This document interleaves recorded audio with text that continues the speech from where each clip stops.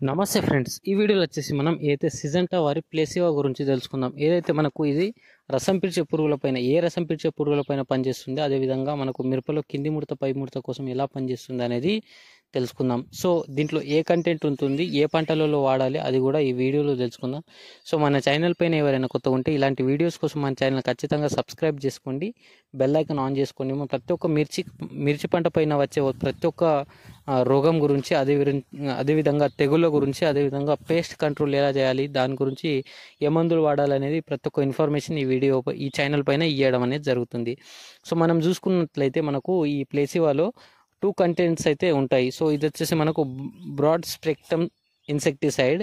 So దీంట్లో వచ్చేసి సయాంట్రీ నిలిప్రోల్ అదేవిధంగా డైఫెన్థ్యూరాన్ ఈ రెండు కంటెంట్ ఉండడం వల్ల మనకు మిరపలో వచ్చే ఏది మనకు మిరపలు వచ్చే తెల్లదోమ పచ్చదోమ త్రిప్స్ కానీ మైట్స్ కానీ ఇలాంటి రసం పిర్చే పురుగుల వల్ల వచ్చే కింది ముడత పై ముడతని కూడా మనకు కంట్రోల్ చేసుకోవచ్చు. అదేవిధంగా మనకు ఈ రసం పిర్చే పురుగుల్ని కూడా కంట్రోల్ చేసుకోవచ్చు. అదేవిధంగా మనకు కాయతొలుచు పురుగు కూడా దీంతోనైతే కంట్రోల్ అయ్యే ఛాన్సెస్ అయితే ఉంటుంది అన్నమాట మాట.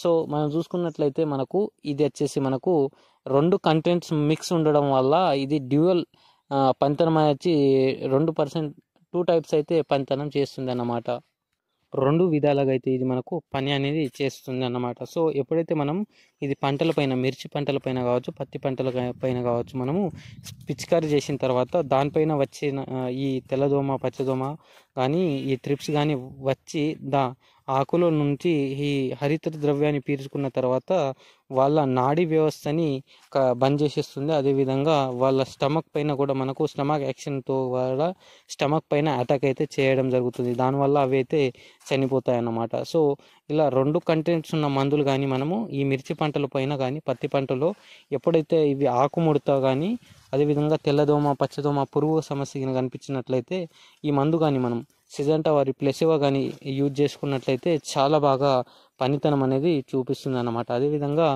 ఎలాంటి అయినా రసం పీల్చే పురుగుల పైన మనకు నివారణ అయితే పొందవచ్చు.